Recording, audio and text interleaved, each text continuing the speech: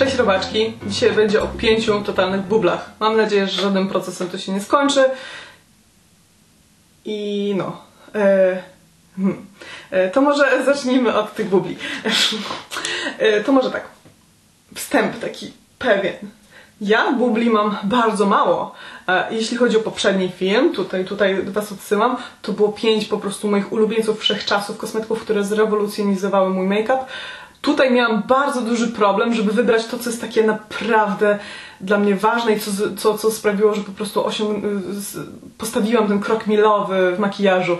Jeśli chodzi o buble, musiałam ich naprawdę poszukać, dlatego że w większości kosmetyki, które kupuję, albo bardzo dobrze testuję wcześniej w sklepie, bądź biorąc próbki i tak dalej, e, bądź w drugiej połowie sugeruje się bardzo mocno opiniami waszymi i innych youtuberek. Po prostu kupuję coś, co potencjalnie jest polecane i będzie dobre i zazwyczaj jest dobre i jest wszystko w porządku.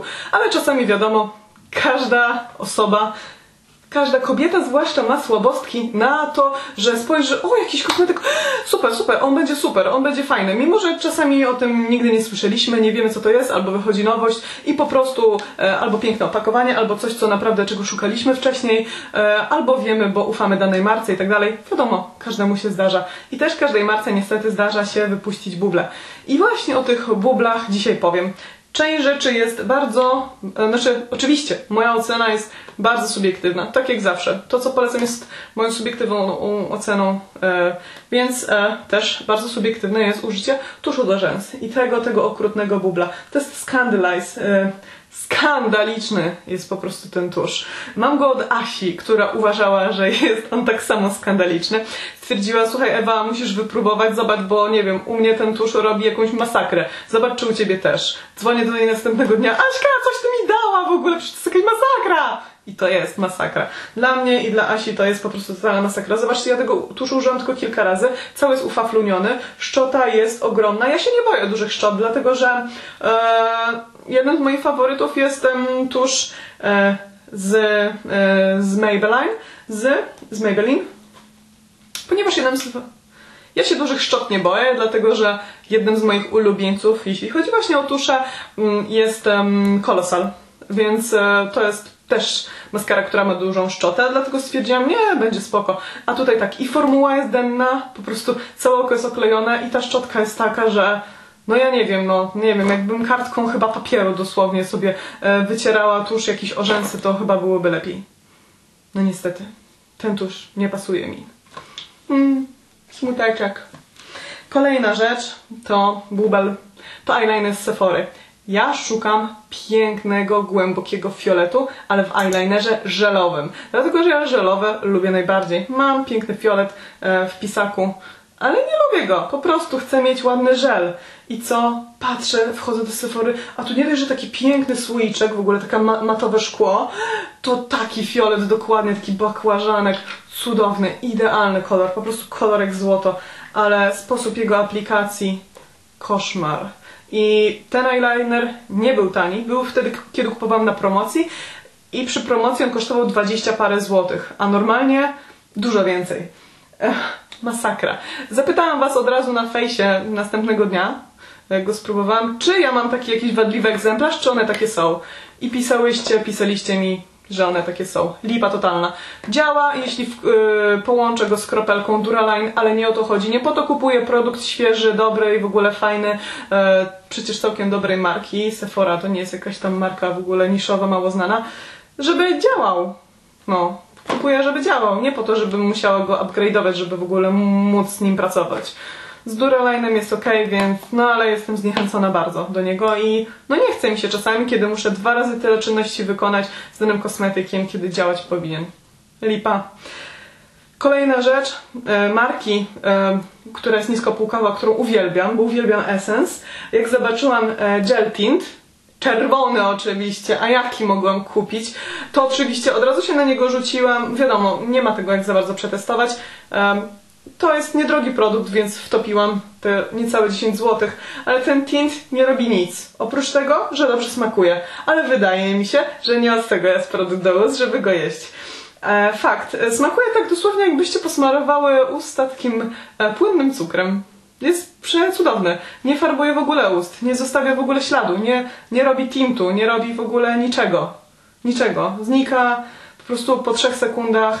E, całkiem słabo się rozprowadza, ma taką żelową formułę. To jest spokój, ja lubię w ogóle taką konsystencję kosmetyków, ale nie, nie, nie, nie, nie, nie, nie, nie, nie, nie, nie, przykro mi.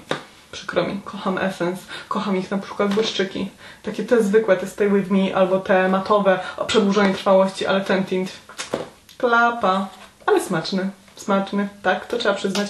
Kolejna rzecz, także czerwona. Um, sorry za krzywe zakręcenie, ale ja bardzo nie lubię lakierów, które mają okrągłą tą zatyczkę, dlatego że zawsze ona mi się źle zakręci.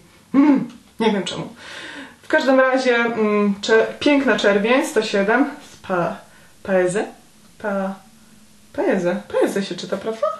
No właśnie. Trzyma mi się najkrócej z wszystkich lakierów, jakie kiedykolwiek miałam. Po prostu te lakiery. Koniec. Naprawdę, dużo lakierów trzyma mi się źle.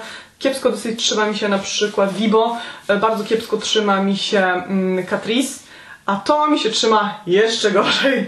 Także to jest po prostu rekord. Ten lakier e, bije rekord, bo chyba kiedyś jak go pomalowałam tak bez niczego, zupełnie sam tylko lakier, e, to chyba po jakimś tam kilku czynnościach życiowych już go nie miałam na końcówkach.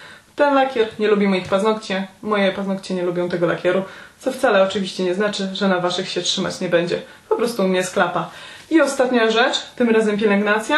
E, Alterra, też firma, którą kocham. Stwierdziłam, o, kupię sobie koniecznie balsam, e, taki bezzapachowy, żebym mogła stosować go niezależnie od tego, jakie perfumy noszę. No i co? Poszłam. Alterra, super przecież. Mam tyle produktów, jestem zadowolona, ekstra fajne. Eee, w Rossmanie kupiłam taki tutaj, nieperfumowany.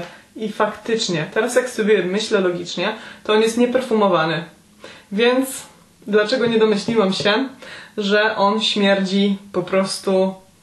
No ja nie wiem jak to określić, czym on śmierdzi, ale śmierdzi jak cholera! Śmierdzi takim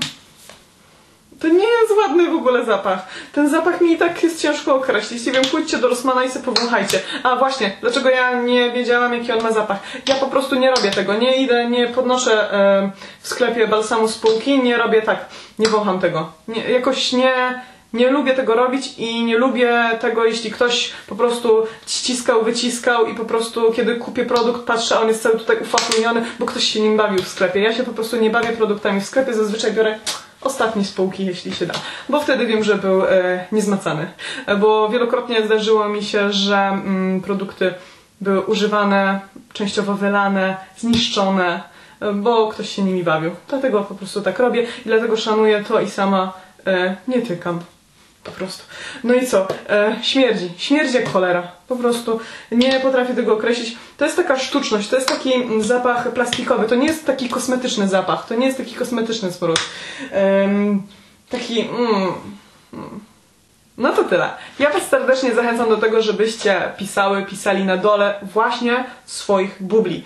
Tak samo wymieniajmy się mm, kosmetykami, które są pozytywne. To po, pod, przed, po, pod poprzednim filmem to było, bo tam było o ulubieńcach takich wszechczasów. A teraz podzielmy się bublami. Koniecznie e, dzielmy się tą wiedzą także o tych złych produktach. Dlatego, żeby się po prostu nie naciąć. Piszcie co i tak ogólnie, dlaczego to coś było złe. Ja bardzo chętnie przeczytam i będę się oczywiście tym jak najbardziej sugerować. Jeszcze jedna rzecz bardzo ważna, e, taka mała, mała, mała zapowiedź, ponieważ e, planuję i z e, pewną osobą z Wrocławia, a potem, a nawet wcześniej z pewnymi osobami z Warszawy spotkanie dla Was właśnie z widzami. Także będzie coś w Warszawie, będzie coś we Wrocławiu, najpierw będzie Warszawa raczej, a potem raczej Wrocław. Co dokładnie? E, niestety nie będę mogła nakręcić e, jakby w tym temacie filmu, dlatego że właśnie wyjeżdżam i filmy mam nakręcone te, które się teraz właśnie ukażą tak jakby do przodu. Więc nie mogę im nic dodać. No nie da się po prostu fizycznie. Dlatego będzie na pewno mm, coś na kanale którejś z dziewczyn tych osób, takich tych wiecie, e, ale na 100%, na 200%, na 500% będzie coś na moim fanpage'u. Dlatego zapraszam serdecznie Was na niego, e, bo tam mogę się tak bezpośrednio komunikować w takich rzeczach, które są na bieżąco, bo to spotkanie może być całkiem, całkiem niedługo. Do zobaczenia. Cześć. Mam nadzieję, że się zobaczymy.